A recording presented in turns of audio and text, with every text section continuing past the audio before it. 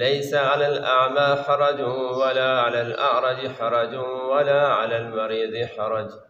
ومن يطع الله ورسوله يدخله جنات تجري من تحتها الأنهار. ومن يتولى يعذبه عذابا أليما. لقد رضي الله عن المؤمنين إذ يبايعونك تحت الشجرة فعلم ما في قلوبهم فأنزل السكينة. فأنزل السكينة عليهم وأسابهم فتحا قريبا ومغانم كثيرة يأخذونها وكان الله عزيزا حكيما. صدق الله العظيم. چھبیسواں پارہ ہے اور سورہ فتح چل رہی ہے. سورہ فتح کی آیت نمبر سترہ سے انیس تک کی آیت. اللہ تعالیٰ فرماتے ہیں لیس علی الاعرج اعما حرج. نابینا اور اندھے آدمی پر کوئی حرج نہیں ہے کہ وہ جہاد میں نہ جا سکے۔ ولا علی حرج۔ اور اسی طرح جو لنگڑا ہے اس پر بھی کوئی حرج کی بات نہیں ہے۔ ولا المریض حرج۔ اور مریض پر بھی کوئی حرج نہیں ہے، بیمار پر کہ وہ بھی جہاد میں نہ جائے۔ ومن يطع اللہ و رسول اور جو آدمی اللہ اور اس کے رسول کی اطاعت کرے کرے گا یدخل ہو جنات تجری من تحت الانہار۔ تو اللہ تعالیٰ ان کو ایسے باغات میں داخل کرے گا جن کے نیچے نہریں بہتی ہوں گی۔ ومن يتولى اور جو آدمی اللہ اور اس کے رسول کے حکم سے روگردانی کرے گا، يعذبه عذابا علیما تو اللہ تعالیٰ اس کو دردناک عذاب دے گا۔ لقد رضی اللہ عن المؤمنین اذ یبایعونک تحت الشجرہ البتہ اللہ تعالیٰ راضی ہو چکا ہے ان ایمان والوں سے اذ یبایعونک تحت الشجرہ، جس وقت وہ آپ سے درخت کے نیچے بیعت کر رہے تھے۔ فعالم ما فی قلوبہم، اللہ تعالیٰ نے جان لیا تھا ان کے دلوں کے اخلاص کو۔ فانزل السکینت علیہم، اللہ تعالیٰ نے ان کے اوپر سکون اور اطمینان کو اتار دیا۔ و اصابہم فتحا قریبا اور اللہ تعالیٰ نے اس کے بدلے میں ان کو قریب کی فتح عطا فرما دی۔ و مغانم کثیرت یا خزونہ اور بہت سی، بہت سا مال غنیمت بھی جس کو وہ لیں گے۔ وکان اللہ عزیز الحکیمہ اور اللہ تعالیٰ زبردست ہے، حکمت والا ہے۔ پچھلی آیات کے اندر آخر میں یہ بات آئی تھی کہ جو لوگ صلح حدیبیہ میں شریک نہیں ہوئے تھے اور بہت سے ایسے تھے کہ جو سستی کی وجہ سے شریک نہیں ہوئے اور انہوں نے حضور علیہ صاحب اسلام کو بتایا گیا کہ جب آپ خیبر کی فتح کے لیے جائیں گے تو یہ آپ کے ساتھ تیار ہو جائیں گے کیونکہ خیبر میں سے بہت سا مال ملنا تھا۔ تو لہذا ان کو ساتھ نہیں لے کر جانا۔ اور ان سے کہا گیا کہ اگر تم واقعی اپنے اس جذبے میں سچے ہو اور جہاد میں شریک ہونا چاہتے ہو، اللہ تعالیٰ کے راستے میں اپنی جان اور اپنا مال لگانا چاہتے ہو، تو فتح خیبر میں تو شریک نہیں ہو سکتے، اس کے بعد بہت سی جنگیں آئیں گی، ان میں تم شریک ہو جانا۔ اور جو ان میں شریک ہوگا، اس کو ہم اجر عظیم عطا کریں گے۔ اور جو ان میں شریک نہیں ہوگا، سستی کرے گا، غفلت کرے گا، تو اس کے لیے ہم نے دردناک عذاب تیار کر کے رکھا ہے۔ جب یہ بات کہی گئی کہ جو ان جنگوں میں شریک نہیں ہوگا، اس کے لیے دردناک عذاب ہوگا۔ تو صحابہ میں ایسے لوگ بھی تھے جو کچھ معذور تھے، کچھ نابینا تھے، کچھ لنگڑے تھے، کچھ اور ان کو عذر تھا۔ تو وہ پریشان ہو گئے کہ اگر ہم ان جنگوں میں شریک نہ ہوئے اپنی معذوری کی وجہ سے، تو پھر بھی ہمیں عذاب ہوگا۔ تو اس پر اللہ تعالیٰ نے ان معذورین صحابہ کی تسلی کے لیے یہ آیت نازل فرمائی ہے، آیت نمبر سترہ۔ اور اس میں اللہ تعالیٰ نے یہ واضح فرما دیا کہ جو آدمی نابینا ہے، وہ اگر جہاد میں نہ جائے، اس پر کوئی حرج نہیں ہے، کوئی گناہ نہیں ہے۔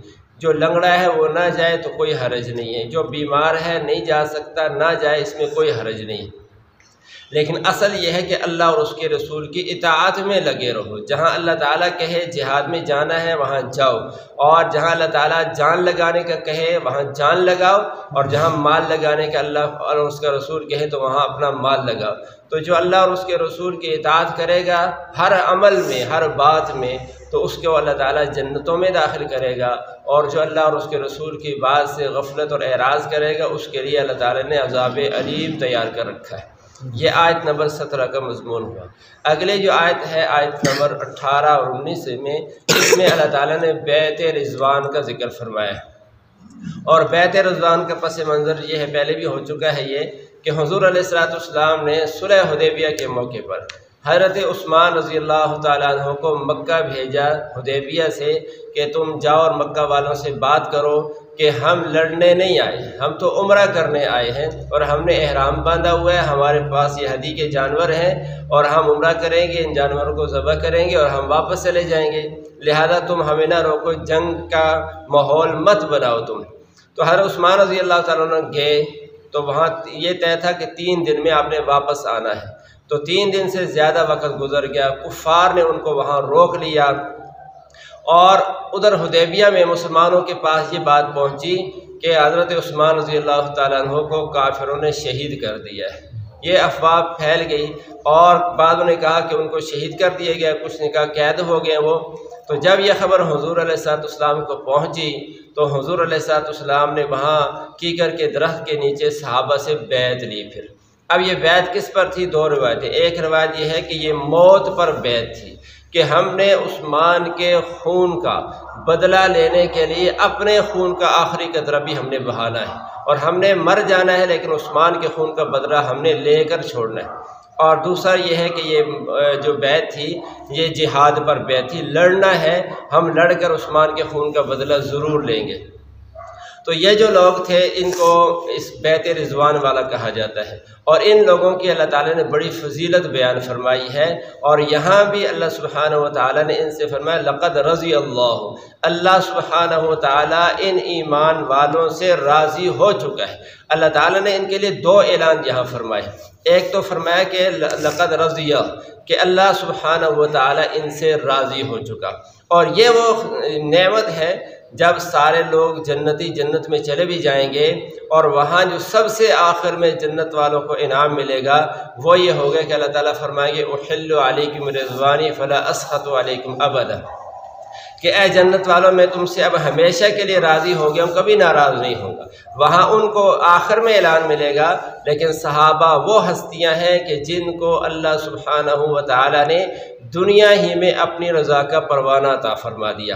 اور یہ اللہ تعالیٰ نے اپنی رضا کا اعلان فرما دیا کہ میں ان سے راضی ہو چکا ہوں۔ اللہ پہلے بھی راضی تھا، لیکن اس درخت کے نیچے جو صحابہ نے نہتے ہونے کی حالت میں دوسری جگہ جا کر اور اسلحے سے خالی ہونے کے باوجود حضور صلی اللہ علیہ وسلم کی ذات پر اعتماد کرتے ہوئے اور آپ صلی اللہ علیہ وسلم کے ہاتھ پر بیعت کر لی، اس سے اللہ ان سے اپنی رضا کا اللہ نے اعلان بھی فرما دیا۔ اور ساتھ ہی اللہ نے یہ فرمایا کہ عن المومنین یہ سارے جو تیرہ سو یا چودہ سو یا پندرہ سو تھے، یہ سارے کے سارے ایمان والے تھے۔ تو اللہ نے ان کے ایمان کی گواہی خود دے دی ہے۔ اور ان میں حضرت ابو بکر بھی تھے، حضرت عمر بھی تھے، حضرت علی بھی تھے، اور بھی صحابہ تھے۔ حضرت عثمان یہاں کیونکہ نہیں تھے، وہ مکہ میں تھے، انہی کی وجہ سے بیت ہو رہی تھی۔ اور یہ بیت کا موقع اتنا فضیلت والا تھا کہ اس لیے حضور علیہ السلاۃ والسلام نے ایسا کیا کہ اپنا ہاتھ رکھا اور اس پر صحابہ سے بیت لی، بایاں ہاتھ رکھا۔ صحابہ بیت کرتے رہے اور پھر آپ علیہ السلاۃ والسلام نے اپنا دایاں ہاتھ اٹھایا، صحابہ سے پوچھا، یہ کیا ہے؟ آپ نے فرمایا، آپ کا دایاں ہاتھ ہے۔ فرمایا یہ ہاتھ میں عثمان کی طرف سے بیت کر رہا ہوں تاکہ عثمان اس فضیلت سے رہ نہ جائے۔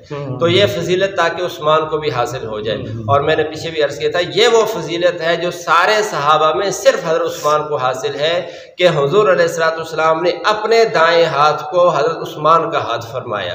اور ان کی طرف سے خود بیعت کی۔ اتنا حضرت عثمان پر حضور علیہ السلاۃ والسلام کو اعتماد تھا۔ اور یہ سارے مومنین تھے۔ اللہ نے ان سے اپنی رضا کا اعلان فرما دیا۔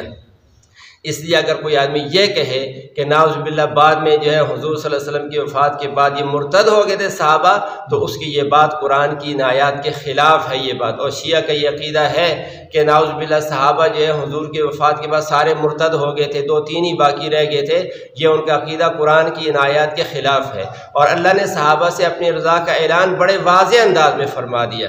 اور ان میں سارے صحابہ تھے، وہ چودہ سو تھے، وہ سارے کے سارے وہاں موجود تھے اور ان کے اللہ نے بڑے فضائل بیان کیے۔ صحابہ میں جو سب سے افضل لوگ ہیں، یہ عقیدے کی بات ہے اور ہمیں یہ اپنے دل میں بٹھانی چاہیے۔ صحابہ میں سب سے افضل اور پوری امت میں سب سے افضل جو ہیں، وہ وہ لوگ ہیں جو بدر میں شریک ہوئے تھے۔ بدریین کو اللہ نے، ان کے ناموں کو بھی اللہ نے پاک بنایا ہے اور ان کے ناموں کو جو وظیفہ کرتا ہے، اللہ اس کی پریشانیوں کو دور کر دیتا ہے۔ تو وہ سب سے افضل ہے جو بدر میں شریک ہے۔ ان میں بھی پھر جو عشرہ مبشرہ ہے وہ سب سے افضل ہے۔ اور عشرہ مبشرہ میں چاروں خلفاء سب سے افضل ہے۔ اور چاروں خلفاء میں ابو بکر رضی اللہ تعالیٰ سب سے افضل ہے۔ اور ان بدر والوں کے بعد جو سب سے اونچا مقام اللہ تعالیٰ نے عطا فرمایا ہے پوری امت کے اندر سے، وہ اس بیت رضوان والوں کو اللہ تعالیٰ نے فضیلت عطا فرمائی ہے۔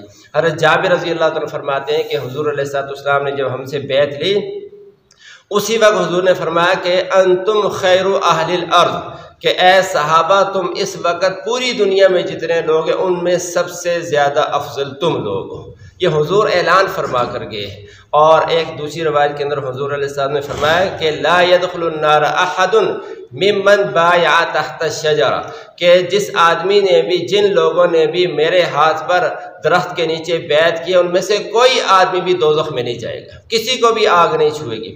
تو ان کے اللہ تعالیٰ نے بڑے فضائل فرمائے ہیں، بیان فرمائے ہیں اور فرمایا کہ وہ تخت درخت کے نیچے بیعت کر رہے تھے۔ فعالم معافی قلوبہم اللہ تعالیٰ نے ان سے اپنی رضا کا اعلان کیوں کیا؟ اس لیے کہ اللہ تعالیٰ نے ان کے دلوں کے اندر جو کچھ تھا، اس کو اللہ تعالیٰ نے معلوم کر رکھا تھا، جان رکھا تھا۔ ان کے دلوں میں کیا تھا؟ ان کے دلوں میں ایمان تھا، ان کے دلوں میں اخلاص تھا، اور ان کے دلوں میں اللہ تعالیٰ کی ذات پر اعتماد تھا۔ حضور علیہ السلاۃ والسلام کی سچی محبت ان کے دلوں میں تھی۔ اللہ تعالیٰ نے اس کو جان لیا تھا، پھر اللہ نے ان سے اپنی رضا کا اعلان فرما دیا تھا۔ اور اللہ تعالیٰ کہ علم میں غلطی نہیں ہو سکتی۔ ایسا نہیں ہو سکتا کہ اللہ تعالیٰ کسی سے اپنی رضا کا اعلان کرے اور بعد میں وہ کافر ہو جائے۔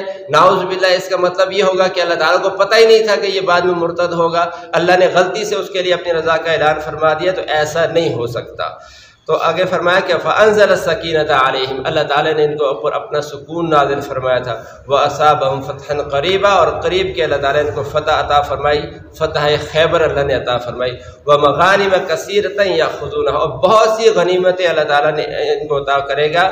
یا خزونہ جس کو یہ لیں گے۔ کان اللہ عزیز الحکیمہ اللہ تعالیٰ زبردست حکمت والا ہے۔ تو اللہ تعالیٰ نے اس فتح صلح حدیبیہ کی اس بیعت کے نتیجے میں اللہ تعالیٰ نے ان کو آگے پھر خیبر بھی فتح فرمایا اور اس کے بعد مکہ بھی اللہ تعالیٰ نے فتح فرما دیا اور یہ صحابہ کے اس ایمان اور جذبے کی وجہ سے ایسا ہوا ہے اور اس بیعت کو اس لیے بیعت رضوان کہتے ہیں۔ رضوان کا مطلب کیا ہے؟ کہ یہ اللہ تعالیٰ ان سے راضی ہو گیا اس بیت کا عنوان ہی بیت رضوان ہے اور بیت الشجرہ اس بیت کا عنوان ہے کہ درخت کے نیچے یہ بیت ہوئی تھی۔